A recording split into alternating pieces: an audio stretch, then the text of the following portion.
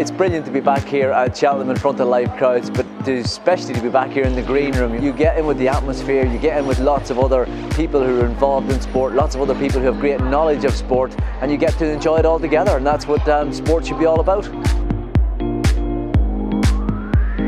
The green room is so good and so much fun. I've won and I've lost here, but I've always had a great time.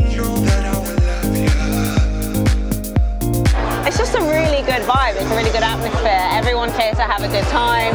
There's a lot going on, there's a lot of buzz, um, and I, am all for it. I think it's brilliant, a brilliant day out. This is the way to do it.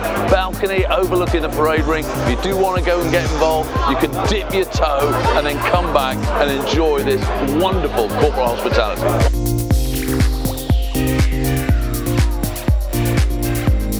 I've had the best day, not just because the um, continual supply of alcohol, which has obviously been marvellous, but the scones that they offer you as well. And the exceptional company, of course, that tops it all up. I've had a really marvellous day so far.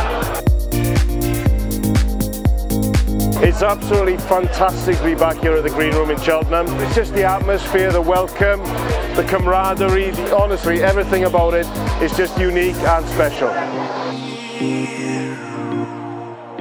You remember the, obviously the banter, you remember the great conversation you have, uh, you forget how good the food is, so the drinks on offer as well.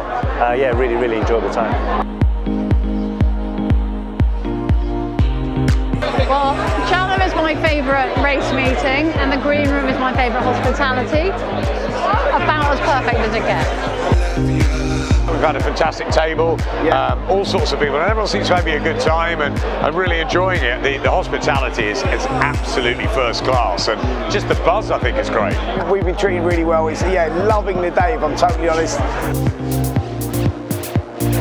full green room, one experience, what a vibe, surrounded by proper celebrities as opposed to said list like me. It's been a great, great day.